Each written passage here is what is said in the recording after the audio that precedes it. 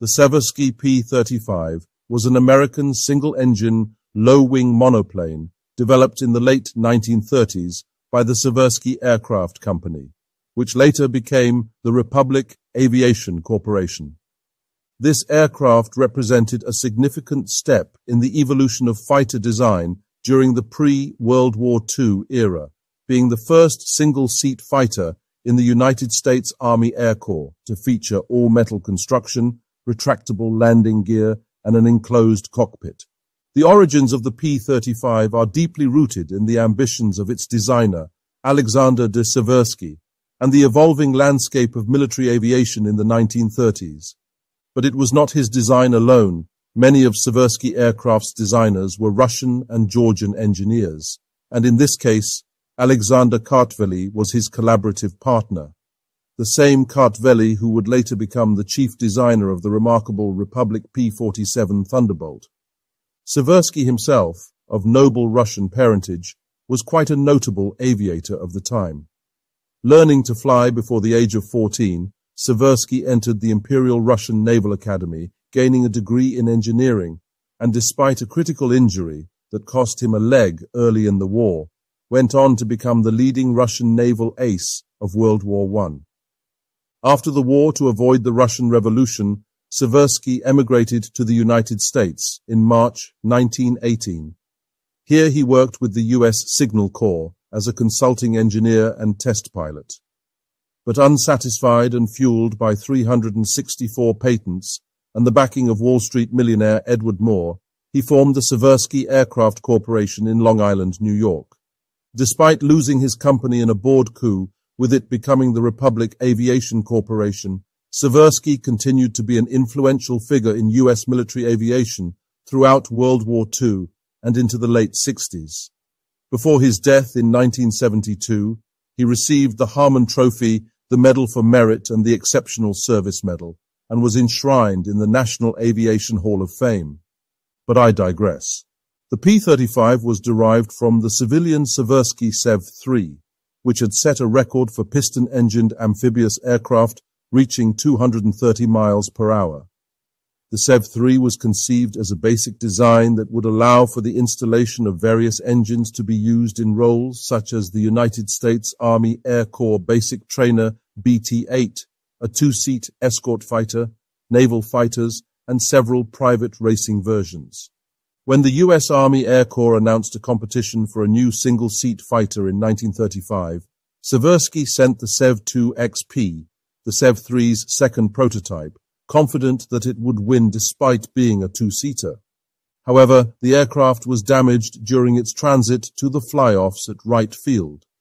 Fortunately for the company, the Army Air Corps delayed the fly-offs until March 1936, which allowed Seversky to rework the fighter into the single-seat SEV-1XP with retractable landing gear and a different tailplane. As the aircraft was underpowered, the power plant was upgraded to a Pratt & Whitney R1839 Twin Wasp with 850 horsepower available on takeoff. The 1XP won the competition on the 16th of June 1936, beating the Curtiss H-75 in the finals, with the company awarded an order for 77 units, now designated the P-35. It was 10 months and two weeks later before the first production P-35 was delivered to the Air Corps in May 1937. The final production P-35 aircraft was 25 feet 2 inches long, 9 feet 1 inch high, had a wingspan of 36 feet, and a wing area of 220 square feet. It had a cruise speed of 260 miles per hour, a service ceiling of 30,600 feet. It could reach a height of 15,000 feet in 6 minutes and 54 seconds and had a maximum range of 1,150 miles. The engine had a wide cowling, which enclosed one 50 caliber machine gun and one 30 caliber machine gun, and it could carry up to 300 pounds of bombs. Armament was completely inadequate when compared to the contemporary European fighters of the time. It also lacked armor protection for the pilot and self-sealing fuel tanks, which resulted in an aircraft that was very vulnerable against enemy fighters. As well, the main landing gear retracted aft and was partially faired, while the tail wheel was fully enclosed. The partially faired landing gear of the P-35 was a major drag issue, especially in an era where flush-folding landing gear was becoming commonplace on new fighter designs. The Air Corps cited slow delivery as the reason for choosing the Curtiss P-36 in lieu of the P-34 in its next round of 210 fighter orders, and this is probably fair. Seversky was also busy developing the two-seater version, the 2PA for an export market, as well as a single-seat export version known as the EP1. But the lack of orders was also due to blowback from the secret deal to sell 20 units of the 2PA aircraft to the Japanese Navy. The fact that they would briefly be used in the Second Sino-Japanese War given the Allied codename Dick against the Chinese Republic government, who were supported by the US, should have warned Seversky against the sale. One cannot wonder if this unpopular move is what ultimately led to Seversky being ousted from his own company. Interestingly, when the order for the P-35 was placed in 1936 by the Material Division of the U.S. Army Air Corps, they stipulated that the last series of the aircraft should have the 1200 horsepower Pratt & Whitney R183019 two-stage supercharged engine. The final P-35 on Seversky's contract with the U.S. Army Air Corps was completed in 1938, along with its new supercharged 1200 horsepower twin Wasp engine. It sported a revised wing and a modified landing gear.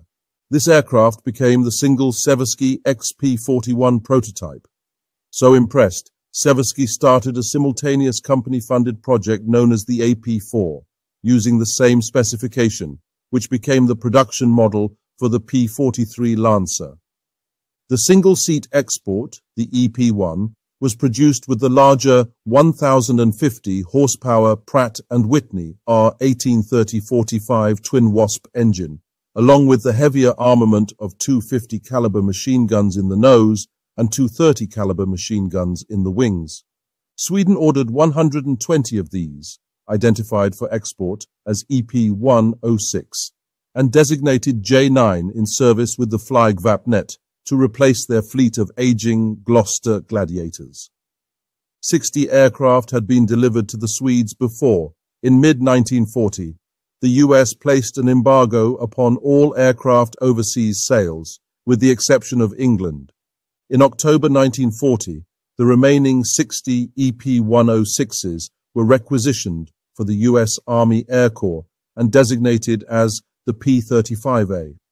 Of these, 40 were deployed to the Far East Air Force in the Philippines, where they were assigned to the 17th and 20th Pursuit Squadrons. Six were delivered to Ecuador to form the first combat unit of the Escuadrilla de Caza and three aircraft were kept in United States as instructional airframes for mechanics.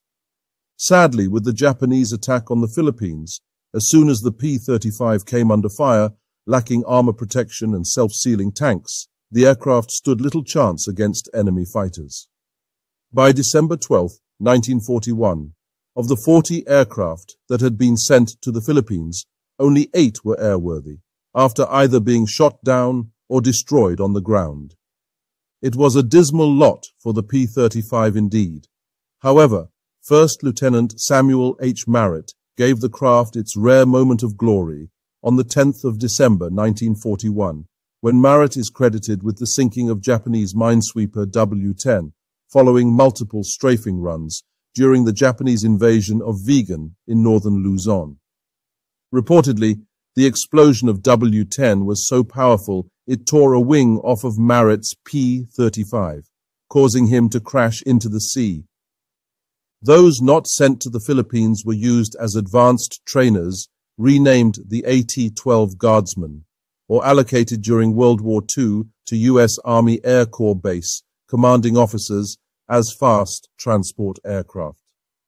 The name of Seversky was associated with record-setting aircraft of the 1930s, versions of the Seversky Sev-3 held multiple records, including when, on the 15th of September 1935, a Wright Cyclone-powered SEV-3 established a world speed record for piston engine amphibians of 230 miles per hour, a record which stood for 49 years. But alas, while it is a beautiful aircraft to look at, regretfully the Seversky P-35 was pretty much a good idea not fully realized. But thankfully, it was in the hands of great visionary engineers who would take the AP-4 project to deliver the P-43 Lancer and ultimately the Republic P-47 Thunderbolt, which became one of the most outstanding fighters of World War II. Thank you for watching. If you enjoyed this video, please leave a comment and hit the like button. If you wish to see more like this, please subscribe to the channel and click the notify bell.